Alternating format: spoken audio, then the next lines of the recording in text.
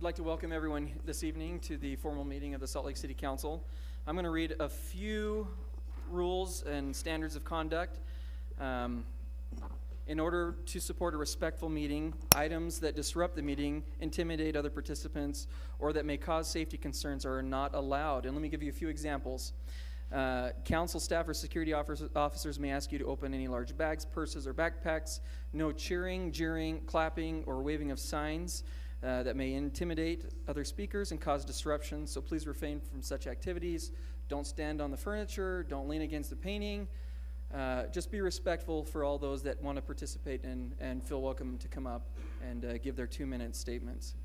Uh, so we're going to start the public hearing this evening, but we need to approve the meeting, the meeting minutes of Tuesday, October 25th, 2016, which was a work session, Tuesday, November 1st, 2016, which was a work session, and Tuesday, November 15th, 2016, work session and formal meeting. So So moved. moved. Second. Okay, so moved by Councilmember Penfold and second by, was that you, Der- uh, Derek? It was Derek. Okay. So Councilmember uh, Kitchen and second by Councilmember Mendenhall to approve the minutes. All those in favor? Aye. Aye. That motion passes. We're going to move into the public hearings comment, uh, and we're going to dive right into the draft impact fee facilities plan. And I am looking for a motion on this. We have no one here Oh, to I have speak on two. it? I have two cards. Great. And as I call your name, if you'll come forward, the second person, if you'll be ready for it. Only two. Uh, Jesse Dean, followed by George Chapman.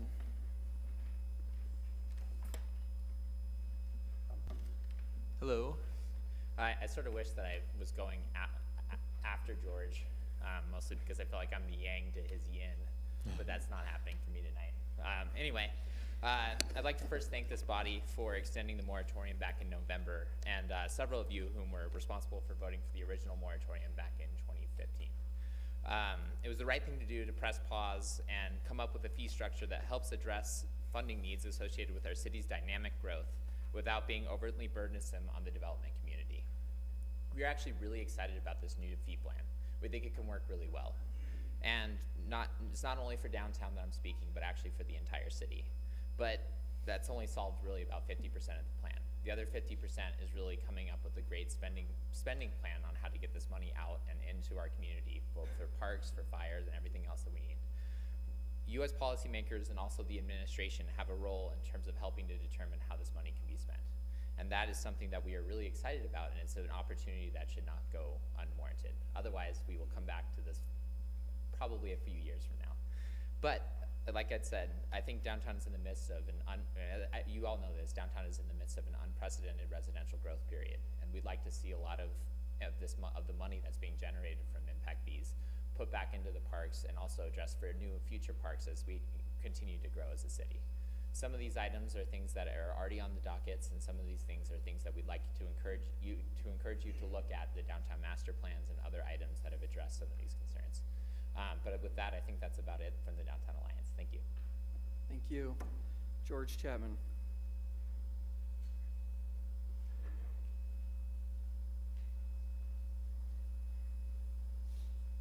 Okay, I've listened to all of your discussions on impact fees. What comes to mind is you're going way out on a limb on these, and I'm asking you to actually cut the impact fee proposal in half.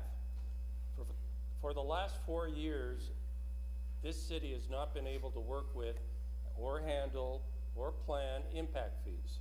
And all of a sudden, you're jumping in, even worse than before, and my concern is you're gonna make a lot of people mad in the city, in the developer community, and also at the legislature. We're working together, I hope, on getting the legislature to have some flexibility on impact fees. But the people in charge of impact fees bills are gonna be very upset if you put in a great big impact fee increase. I'm asking you to cut it in half, make it more reasonable, make sure you can actually use the impact fees you're getting so you don't go overboard and have another moratorium. In addition, you will go a long way to helping convince the legislature you need more, we need more flexibility on impact fees. We need uh, more funding for police, and that should be part of the impact fee thing. How do you convince the legislature if you're going to have a great big impact fee increase? It makes sense to start slow, see if it works out, and then go up higher, if it makes sense. You did this before. You increased impact fees significantly, and you had to pull them back. So I'm asking you not to go full bore, back off a little bit, cut them in half, and then implement them. Thanks for listening. I don't have any other comment cards. Is there any individual here that would like to speak in regards to impact fees? Seeing none, I will. Mr. Chair. You do LBA, I'll do this one. I move the council close the public hearing and schedule this item for potential action on Tuesday, December thirteenth. Second. Uh, motion has been made by Councilmember Mendenhall and second by Councilmember Penfold. Is there any discussion before we vote on this? None? Okay, all those in favor? Aye. And that passes unanimously. Uh, the next public hearing that we have is Airport Terminal Redevelopment Program, the budget amendment, and I do not have any cards in regards to this. Any discussion? George? I don't have a card, a comment card for this. Oh, here we go. Maybe it's just one, and it's George. Okay, this is one of those things where you also need uh, to work with the legislature. I'm concerned because, as we, you discussed in the work session, you still don't know what you're gonna be doing with TRAX. And that's an important issue.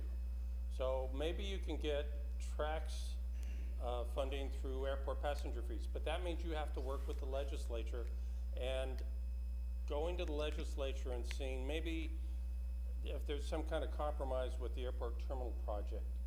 If somebody at the legislature wants a wish list or something, I'm asking you to work with the legislature to work, to get more money essentially. Because airport passenger fees in almost every other city now can be used for fixed guideway projects. Utah law has to change.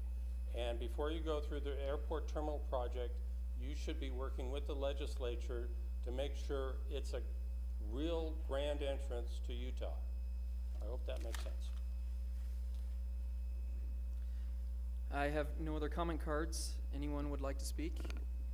Seeing none, Mr. Chair, I move that we continue this public hearing to December thirteenth. A motion's been made by Councilmember Penfold and second by Councilmember Luke. Any discussion? Seeing none, all those in favor? Aye. And that passes, it passes unanimously. Uh, we are moving on to item three, which the council will consider a motion to recess as the city council and convene as the lo- as the board of directors of the local building authority. So moved. Second? Uh, motion by Councilmember Penfold and second by Councilmember Johnston, Councilmember Kitchen. Uh, all those in favor? Aye. Aye. We are now, surprised the local building authority. All right, anyone want to make a motion? I don't have any comment cards. Do we have any comment cards for the LBA? No, we don't. Uh, So we will be making a motion on the local building authority budget amendment number one. Mr. Chair, Yes. I move that the board accept public comment and consider a resolution amending the final budget for the capital projects funds of the local building authority for the fiscal year beginning July 1, 2016, ending June 30, 2017. Second? Uh, motion by, uh, board member, uh, Adams and second by board, board member Johnston. Any discussion? Seeing none, all those in favor? Aye. Aye. Any Are we on opposed? the right one? Okay. Any opposed? Okay, that motion passes. Looking for a motion to reconvene as the council. Mr. Chair, um, I move that we uh, recess as the local board of directors of the local building authority and reconvene as the Salt Lake City Council. Second? Bef- Before you all vote on that, Do we may need? I, and may I interrupt? Please. So, uh, the motion from Board Member Adams was to hold the public hearing. It sounds like there were no cards, no interested speakers during the public hearing. Does the board wish to consider closing the Closing the hearing and adopting the resolution before you adjourn? Uh, Yeah, that would probably be a good idea, wouldn't it? I would Um, like to s- make that could- motion. Could we can re- reconfirm that there are no comments for that public hearing? Because I think I was a little confused about when the public hearing was open and when it wasn't, so Okay. could we just reconfirm that? Uh, Becky, we don't have any comment cards on that, right? Local Building Authority. No, we Okay. do not. Then I will move that we close the public hearing and adopt. Uh, There's a motion by uh, Director Adams and second by Director Luke. Uh, Any uh, discussion? All those in favor? Aye. Aye, and that passes. All right, Stan. I move that the uh, uh, Board of Directors of the local building authority recess, because we'll be reconvening later in this very meeting, uh, and reconvene as the Salt Lake City Council. A motion's been made. Do we have a second? Second. Oh, great. Uh, se- motion by Councilmem, uh, Director, uh, Penfold and second by Director Mendenhall. Uh, all those in favor? Aye. Aye. We, surprise, are now the city council again. We are on to item C, potential action items, which are none. Moving on to D, comments, uh, questions to the mayor from the city council. The mayor is not here, but we have Patrick Leary, who is the chief of staff to the mayor. Uh, any questions for Mr. Leary? I do, um, Patrick, and I, I don't know that you can address this, but I'm wondering if you have any information regarding uh, action the city's uh, taking uh, concerning the extreme cold temperatures we're expecting over the next couple of days and, and uh, relationship to people who find themselves sleeping outside. I think that, as you know from our earlier discussion, we're working with our community partners to make sure that if there are people that we can identify on the streets, that we can try to encourage them to get off the streets. Um, We're working with our law enforcement uh, uh, officers as well as eyes and ears out there in our fire department. So, uh, given the extreme cold, I think we're taking every effort to identify those individuals and to do our part to try to get them off the street. Thank you. And is, uh, uh, uh, tell me, I'm, I'm wondering if, if people ru- encounter uh, individuals sleeping outside, is the best course of action to contact the police? Uh, Yes, that would be the appropriate. Okay. All right, thank you. I have one question, Yes, please. Mr. Chair, thank you. Uh, Patrick, what kind of feedback loop do we have about whether or not individuals are being turned away at the emergency shelter or at St. Vinny's overflow shelter? And uh, considering that we have a budget amendment open until at least Tuesday of next week, how, what are you hearing and what is the c- lines of communication like between the road home and, and us for that? On a daily basis, we're in contact with them, so we're getting feedback regarding what's happening at the shelter and uh, whether or not people are being turned away. So we will keep the council apprised uh, of what we hear as well. And do you have any current reports of people being turned away? I don't right now. No, we, um, we have been told that no one has been turned away. Um, that, um, we are getting, uh, I apologize for stepping out. Um, we are getting, uh, weekly updates, uh, from, uh, the road home on, uh, counts, um, across the entire, hmm? It's, yeah, it, uh, and we get, uh, um, weekly, uh, the numbers for the prior week. Uh, and we have been told that, um, no individuals have been, uh, turned away. And the most recent head count, do you know off the top of your head? No, but I can pull it up. Thanks. We can move on. Any other questions to administration? All right, we are moving to item D2, comments to the city council. If you'd like to make a comment to the city council, we have staff on hand that uh, can help you get a card, fill it out, and they'll bring it to me if you don't have one. Uh, This, the same rules apply. Please don't clap, jeer, yell, cheer, stand on furniture. Uh, Just be appropriate like it's in your living room, or maybe not.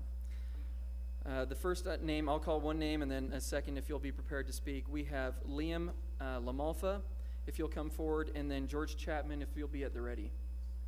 You have microphone? I do. Okay, um, so.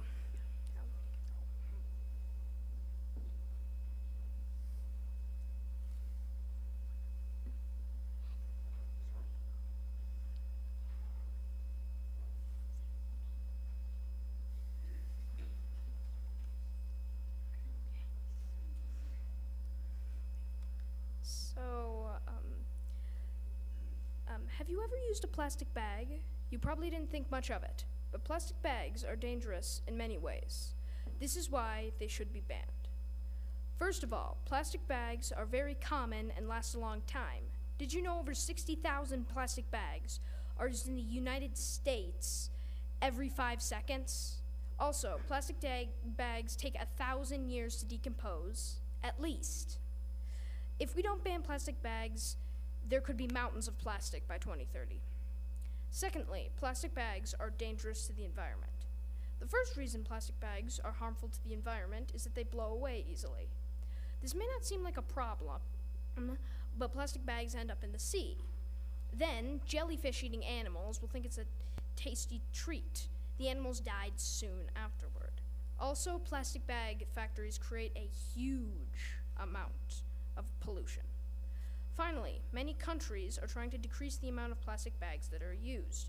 For example, Ireland has put a tax on plastic bags. Since then, the amount of plastic bags that are used in Ireland has gone down by over 90%. Something helpful that some U.S. towns have done is charge stores that give out free plastic bags. The state of California has banned plastic bags completely. As you can see, plastic bags are very dangerous. Animals end up eating them and dying. But we just keep making more. This is why plastic bags should be banned. In a few years, this planet will be in big trouble. We want the Salt Lake City Council to pass an ordinance banning the use of plastic bags and banning use of plastic bags in retail stores. And here are the signatures of over 300 people who agree with me. So Liam, we'll have staff come grab that from you. Okay.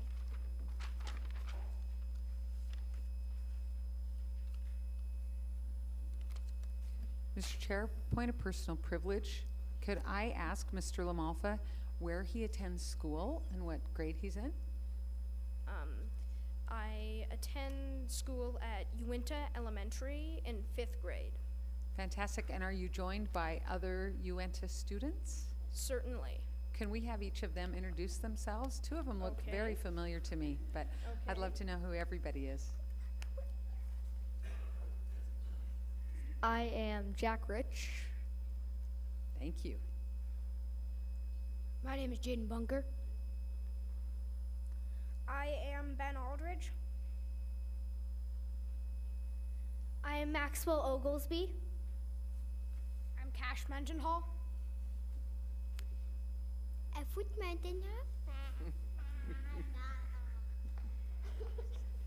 Thank you so much. Yes, thank you. Yes, Erin. And I can't help but ask for a moment of personal privilege. What would happen if I said no?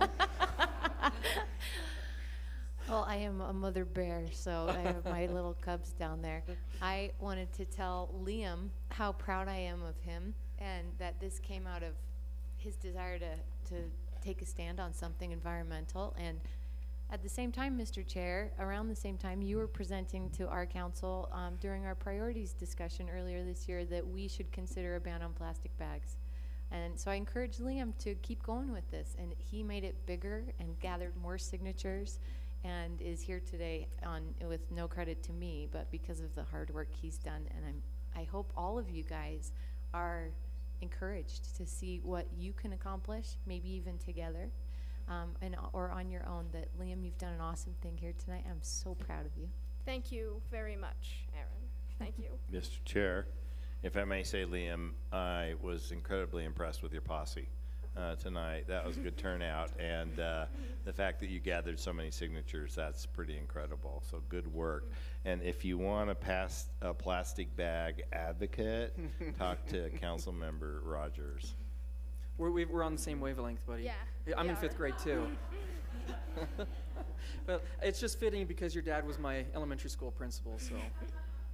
So thank you for coming this evening, Liam. All right, George Chapman. Following George, we'll have Douglas Cotant.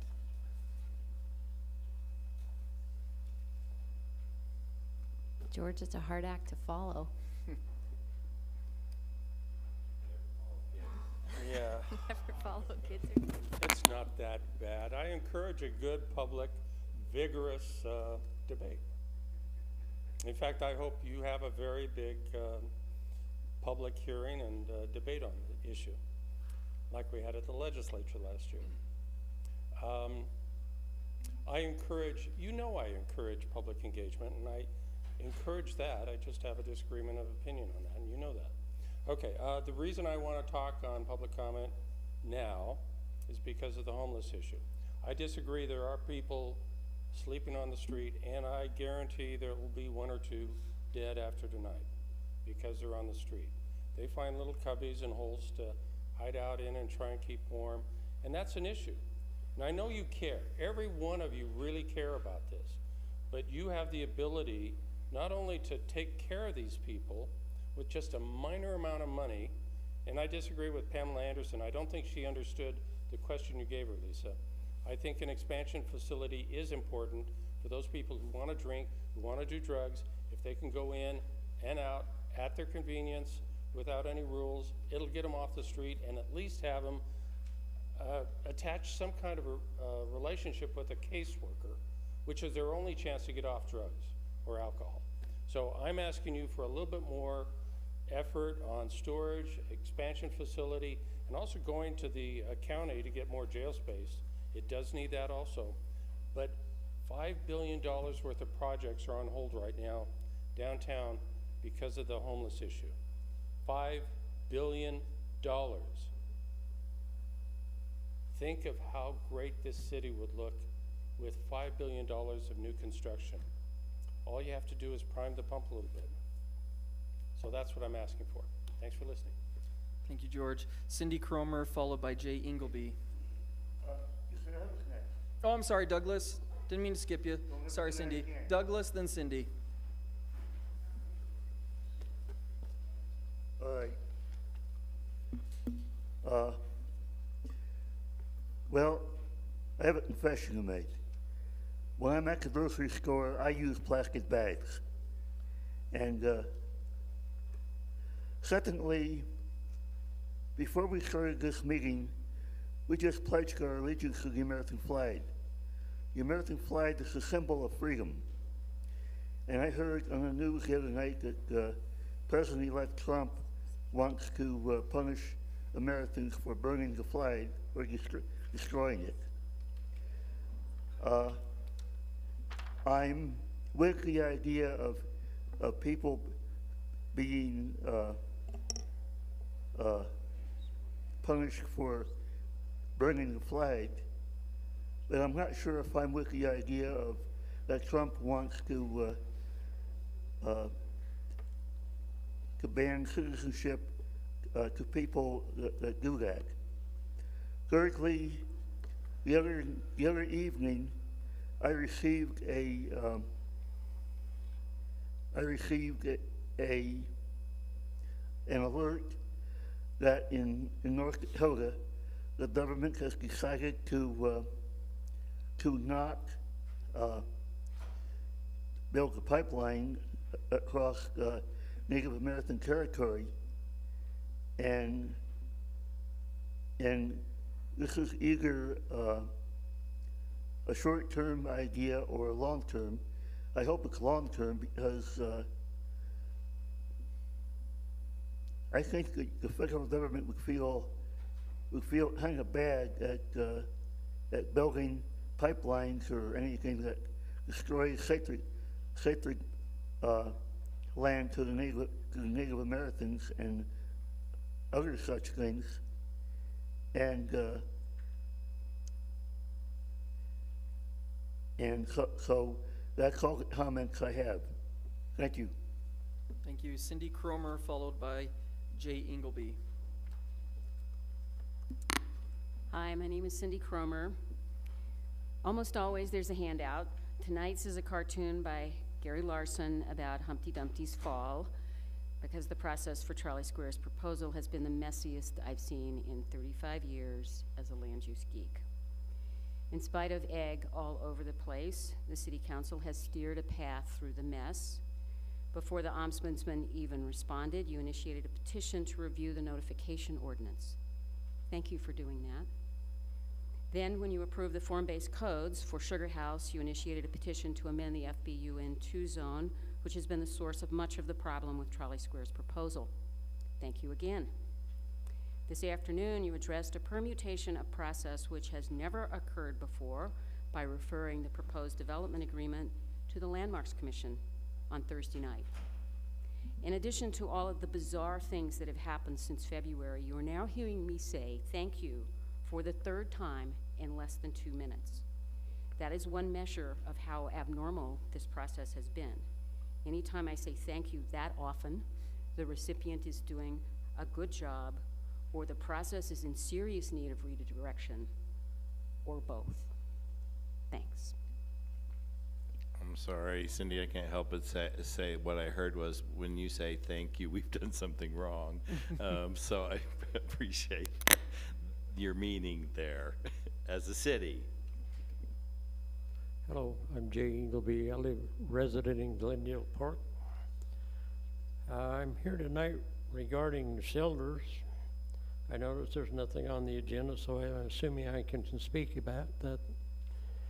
Uh, the Salt Lake City Council and Mayor decided in a closed session on November 10th to approve the four sites for the new homeless shelters without letting the public discuss the sites. According to several other community councils, the council members admitted to agreeing to the sites in October. I can't find any notice on the city council meeting portal or on the RDA agenda page that there was a meeting on November 10th or that the sites were going to be selected.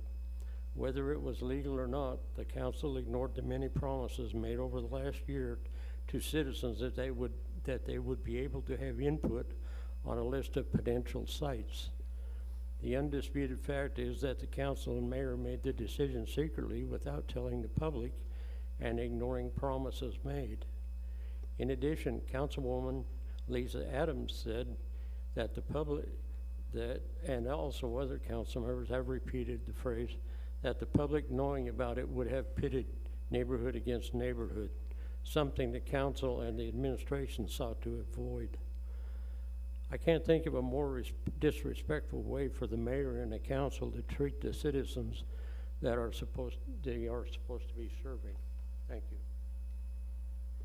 Mm, Mr. Chair, I just I think it's important as a clarification to to to be very clear that no sites have been selected or announced.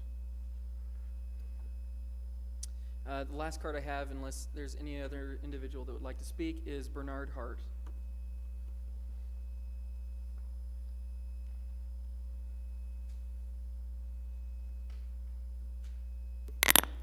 Thank you. Um, I came to talk about one thing, but in the mentioning of the camping and uh, people sleeping on the streets, uh, we run a program at the library three mornings a week with the homeless, and uh, it's fairly well attended. And we have some gentlemen there that do sleep on the streets and refuse. They're dealing with PTSD. They can't stand the crowded conditions. They can't stand the conditions at the road home or any other institution where people just they, the unexpected is likely to happen. So they will stay on the streets no matter what you do and how often the police call on them, no matter how often you take their gear away from them, no matter how what you do to encourage them to do what you, you think or the police think or the social workers think is best for them, they will continue to do what they think is best for them. So there has to be another way. And I see that all the encampments now, and this has been the focus of the Pioneer Park Coalition and the Downtown Coalition for a long time are no longer on Fifth West. They've all been moved, and I hope it's not, the, the movement was, it can be framed in a lot of different ways. And when I'm in talking to the police, I understand that, that this is being done for the good of the people on the street to keep them from freezing to death, and there may be heaters in the tents. Well, that's, that's all well and good. But if you take the, their place to camp and feel safe away from them, and you drive them off into the woods, away from facilities and away from treatment, and away from other people that can, the emergency services, you're not really doing, you may get a few of them into shelter, but you're driving them further out of the city and into places where they can't be arrested. And they'll be more exposed to cold. So there's always a way to talk about an action to, to support it, to support your perspective and what you would like to accomplish. But if you're trying to accomplish something that services the homeless community, you might try, uh, this, the city might try treating them with respect and giving them an option on a cold night asking them if they would want to come inside, providing them with choices rather than telling them what they should do, may go a long ways towards accomplishing what your intent is. So, Time. thank you very much. Thank you. I, I don't have any other comment cards. Is there anyone else that would like to speak to the council? Okay, oh, we have one. So Becky, if you wouldn't mind getting him a card, come on up, sir, and uh, you'll have your two minutes, and then if you wouldn't mind filling out a comment card afterwards and giving it to Becky, that would be great. Just as I was sitting here thinking about it, um. I'm sorry, was- can you give me your name? My name is Jason Seaton. Um, I live in Poplar Grove, just west of here. Uh, in, in our area, we have a school that has no signals for crossing, no speed limit, uh, designation for that school zone. There are crosswalks, but nothing says that, that, that is a school zone. Uh, that school's been there for, I don't know, maybe forty years. Um, I'm wondering, why hasn't anything been done about that? I've talked to the mayor's office. I don't know if any, I'm, I'm bringing this up out of the blue, just because I was just thinking about it. So, what do I do about that? There's no, there's nothing. There's nothing that says that there's a school there. after the meeting, and, and just so you know, this has been brought up to the Salt Lake City School District, and they're, they we're working with, with, uh, the city to try and, and look into that. Just to be clear, that school is on, uh, Fourth South and almost Redwood Road. Okay. That's Thank it. you very much. And Becky, uh, staff will get you a card and you can fill it out. Anyone else that would like to address the council? Okay, we're moving on to new business. And I'm gonna look to the city attorney just to make sure, because this is a little, little wonky, and make sure we get it all correct, right? I'm gonna be looking at you, Margaret. I will be looking at you, Mr. Chair. Okay. So, um, just to ensure a smoother ride ahead, we thought I'd give you a quick roadmap. Your one and only item under new business is something you will be doing with your LBA hats on, and that's considering a resolution to appoint the, um, new budget director as Mary Beth Thompson. You'll then switch to unfinished business, and the first item under that you will be doing as the city council. This step needs to happen first. It's you considering whether to direct the LBA to adopt a parameters resolution. And then under F two, you'll see that you're being asked to convene as the LBA and to consider a couple things, including minutes, the parameters resolution, and setting the date. There is a motion sheet that may help you under F one. Um, I'm also here to help you, as is the treasurer's office and the finance department, because we all want you to get this correct, as do you. So hopefully that helps.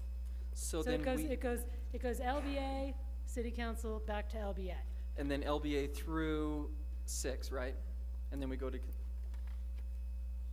LBA through. oh, I'm sorry, through three. Three, Okay, correct. great. Mr. Chair, Here we go. I move that the uh, council recess as the city council and reconvene as the board of directors of the local building authority. Second. Motion's been made by Councilmember Penfold and second by Councilmember Kitchen. Uh, any discussion to reconvene as LBA? Seeing none, all those in favor? Aye. Aye. We are now the local building authority. Mr. Chair, I move that the local building authority adopt a director position for Mary Beth Thompson. Second. Uh, Council, mem- uh, Director Penfold, uh, made a motion to adopt and a second by Director Luke. All those in favor? Aye. Aye. Okay, we are done with E one. We need Mr. to. Mr. I move that Chair. we- I move that we uh, reconvene as the city council. I think we need to Oh, wait, that we, that we, um, recess. that we The other, but reset, it's that we always good to recess as the local adjourn building authority and and then then reconvene as the Salt Lake City Council. Second. Motion's been made by Director Luke and seconded by uh, Director Penfold. Uh, All those in favor? Aye. Aye. We are now the city council again. On to item F1, unfinished business. Mr. Chair, I move that the city council adopt the resolution directing the board of directors of the local building authority to issue its lease revenue bonds. Second? Uh, Motion's been made by Councilmember Penfold and seconded by Councilmember Luke. Any discussion in re- regards to that? Seeing none, all those in favor? Aye. Aye, and that passes unanimously. Mr. Chair, just like magic, I'd like to move that the city council uh, recess and reconvene as the local building authority. Second? Uh, motion's been made by Councilmember Penfold, second by Councilmember Luke. All those in favor? Aye. Aye. Aye, and we are now the local buil- building authority. We are looking for a motion for F two. Mr. uh, Chair, I move that the local building authority, uh, Board of Directors approve the, the meeting minutes of Tuesday, July twelfth, two thousand sixteen, and Tuesday, November fifteenth, two thousand sixteen. Second. Second. Uh, motion by Director Penfold and second by Director Johnston. Uh, any discussion? All those in favor? Aye. Aye. Aye. And those minutes are approved. We're on to F three, still as the LBA. Mr. Chair. Chair, oh, go ahead. Uh, I move that, uh, we adopt the parameters resolution and set a public hearing date. Oh, wait. I move that the board adopt the parameters resolution authorizing the issuance and sale of up to ten million dollars of the lease revenue bonds and set the date for the related public hearing for Tuesday, January seventeenth, two thousand seventeen at seven P M. Second. Motion by Director Luke and second by Director uh, Penfold. Any discussion? All those in favor? Aye. Aye, and that passes unanimously. We are looking to, Mr. Chair, I move that we adjourn as the Board of Directors of the local building authority and reconvene as the Salt Lake City Council. Second. s- motion by Director Penfold, second by Director Luke. Uh, Any discussion? All those in favor? Aye. Aye, and like that, we are now the City Council. Congratulations. Was that right? So Okay. smooth. We are on to F four, uh, Housing Trust Fund loan request for one point five million dollars from Give Development for Fourth North. Mr. Chair, I move that the council adopt a resolution authorizing a loan for one point five two five million from the Salt Lake City Housing Trust Fund to North Fourth LLC for the North Fourth project. Second. Motion by Councilmember Penfold, second by Councilmember Mendenhall. Uh, any discussion? Yeah, m- Mr. Chair, if I may, I just am excited about this uh, opportunity. Give has a, a history of doing really great projects in the city, and one of the things I love about their projects is their commitment to uh, truly do um, mixed income housing within their projects, and uh, that that commitment continues with this proposal as well. So it has a significant uh, uh, number of units uh, for 25% uh, AMI, and uh, most of them fit in that sort of 40 to 50 range of AMI. So uh, I think this is going to be a great project for the neighborhood. Stan, this is District Three? Uh, this uh, is District 3, um, which uh, is my district. So, yeah, uh, uh, it's affordable housing in District 3, which is what makes it, it really exciting, actually. And one quick question, do you know how many additional affordable units this will add to our stock? I don't remember the 80. number. Nick, do you remember the number? Eighty. Erin knows, she said 80. eighty. 80? 80 124 total, But units. at a whole range of AMI. Right. Yeah. Thank I you. believe there are five or 10 at 20. Uh, What I like about Give is they consistently add some very, very low AMI in their projects. They've been really good about doing that. Councilmember Mendenhall. I thought you were going to say it, but I hope that we see another great piece of public art on this future building because they've done a fantastic job of that in the past too. That mural, that And now we'll tradition stop of a making it like a work in the- session yeah. and, and vote. Uh, before we vote on this, I just want to second uh, Councilmember Menden, uh, Penfold. The, Give does a fantastic job with the developments. They look good. You, you uh, it's just something that you would you'd see downtown, but it's actually going to be on on uh, in District Three, just just east of I-15. So it's a, a great project that I'm glad that we're we're participating in. So all in favor? Aye. Aye, and that passes unanimously. We are on to F five, a housing trust fund request for an additional five hundred thousand for JF Capital for the Granary Place and an amended deal. Mr. Chair, Yes, I move the council adopt a resolution authorizing a loan for five hundred thousand dollars from the Salt Lake City Housing Trust Fund to JF Capital for the Granary Place apartment project. Second. uh, a motion's been made by Councilmember Kitchen and second by Councilmember Johnston. Any discussion? Speaking of affordable housing, this is a District Four project, so I'm excited about this and hope we can approve this. Uh, a- anything else, any other discussion? Uh, all those in favor? Aye. Aye, and that passes unanimously as well. We are on to the last item in the F category, F six, disposition of lost, misplaced, and unclaimed property. Uh, Mr. Chair, I move that the council adopt an ordinance amending chapter two point ten Article Four. It's a Roman numeral, so I had to pause, of the Salt Lake City Code relating to lost, mislaid, and unclaimed property. Second. Motion by Councilmember Penfold, second by Councilmember Kitchen. Is there any discussion in regards to this? Seeing none, okay. Question, sorry, maybe Margaret. I don't remember process on this one. This was a written A written briefing, briefing. actually. Written briefing, that's why, and no ordinance, uh, and, I'm sorry, no public hearing because what? Um, It's not required, council didn't request it. These are changes to city code to bring it in line with. Cleanup? uh, Changes to Utah code that were Thank you for that made clarification. previously. Gotcha. Thanks, I'm ready. Any other discussion? All those in favor? Aye. Aye, and that passes unanimously. We're on to the consent agenda. I Mr. move- Chair, uh, uh, Councilmember Mendenhall has a motion. I move we adopt the consent agenda. Second. Uh, motion by Councilmember Mendenhall and second by Councilmember Penfold to adopt the consent agenda. Uh, any discussion? All those in favor? Aye. And that wraps up our meeting. So we're gonna wait